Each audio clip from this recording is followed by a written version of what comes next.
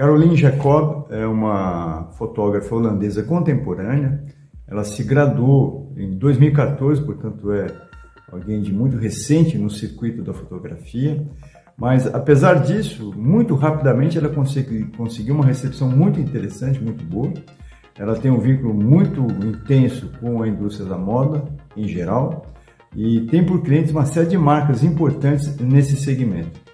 É, isso, obviamente, é, tem referência, tem uma marca sobre o trabalho dela, que de toda forma é muitíssimo interessante, é, por vários motivos. Né? É, primeiro, uma concepção quase que surrealista da fotografia, é, bastante evidente no, no slideshow que eu vou mostrar para vocês adiante. Um trabalho magnífico com cores, né, texturas, é, uma compreensão uh, muito significativa de toda a parte de direção de arte, é, figurinos, enfim. É, ela tem uma maestria para lidar com isso e não é um acidente, portanto, né, que, que a indústria da moda a tenha como fotógrafa relevante e uma fotógrafa de referência.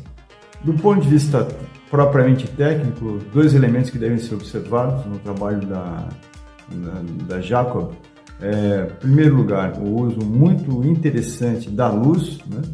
e em segundo lugar, o fato de que ela trabalha é, um uso intensivo também de pós-produção das imagens. Bom, no fundamental era isso que eu tinha para falar sobre a Caroline Jacob. É, deixo vocês com o slideshow e espero que vocês gostem das imagens, porque elas são muito bonitas e quem gostar de, em particular, de, do ramo publicitário da fotografia, eu recomendo dar uma olhada, dar uma consultada no YouTube com o nome da fotógrafa, que vocês vão achar coisas realmente muito interessantes.